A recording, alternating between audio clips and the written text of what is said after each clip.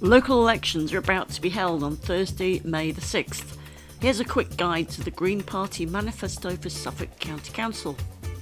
A Green administration would set two overarching priorities improving the health and well-being of Suffolk citizens and meeting the zero carbon by 2030 target. The two will complement and reinforce each other. A Green administration would prioritise public transport, walking and cycling and reduce car dependency. Suffolk has fallen way behind neighbouring counties in planning for and funding sustainable transport. We must ensure that the County Council has sufficient staff to bid for cycle, bus and pedestrian funding.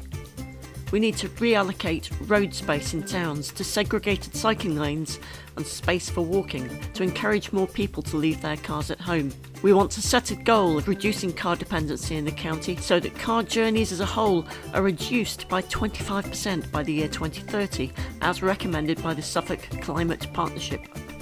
Greens propose to hire a zero emissions transport officer to do things like scoping out where demand is for bus routes, running a feasibility study on establishing our own bus company to serve rural areas if commercial bus companies can't. Plan for zero emission transport infrastructure, including electric buses focused around where housing growth is. Seek large scale funding for switching cars to electric, and have a renewed focus on promoting car sharing once the pandemic allows. New planning applications also should not be car dependent. We would initiate a review of speed limit policy in Suffolk with a view to allowing communities to have the safest possible speed limit in residential areas and lower limits than the national speed limit of 60 miles per hour on twisted single lane roads. Communities that don't want a lower limit can opt out, and those who want lower limits would get one automatically. This would make our roads safer encouraging more people to walk or cycle within their community, which in turn would bolster local economies, shops, and businesses. A Green Council would scrap the existing cabinet system and return to a committee based one, which allows members of all political parties to contribute to decision making. We would invest in creating public open space which will serve biodiversity and neighbourhoods, reallocating space from parking and cars we would invest in training for local people in the skills needed in a circular renewable economy. Greens would encourage smaller, independent businesses that put more back into the local economy and pollute less. When granting COVID recovery money, we would favour businesses that commit to meeting the county's zero carbon goals. Greens would invest in a smart grid for Suffolk to make it 100% renewable by 2030 and we'd end the council's support in principle for a new nuclear power station at Sizewell, ensuring that our energy supply will not leave a toxic legacy. A Green administration would reinstate funding for the Suffolk Biodiversity Information Service. We would seek an early end to the incinerator contract, which currently locks the county into burning a certain amount of non recyclable waste. Instead, we would focus on efforts to reduce the amount of rubbish consumed. For example, we could investigate the use of biodigestion to generate power from organic waste, and we could have a genuine focus on phasing out of plastic use across the county through a plastic free Suffolk campaign.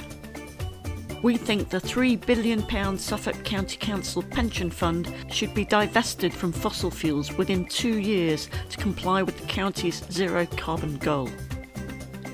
Education is important, there should be clearer monitoring of schools' performance, with funding and support applied to those that need to improve.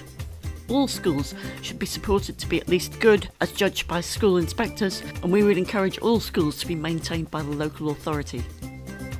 A Green administration would reverse as far as possible the disastrous new school travel policy which has split villages, with children from one village being sent in two different directions with two different buses for secondary schools.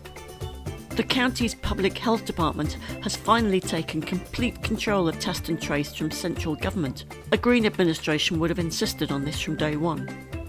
A Green administration would seek approval for major projects and policies from the Director of Public Health and seek its advice on how policy changes might improve public health. For example, how to deal with traffic congestion and air pollution in the dozen or so areas in Suffolk where toxic air pollution has for years breached EU limits. We'd also explore the public health impact of traffic accident injuries and what to do about it.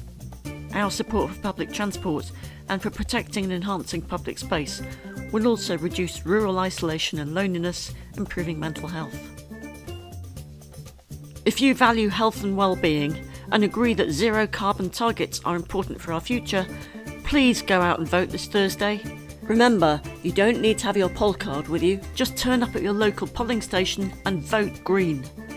We have great candidates in nearly every area of Suffolk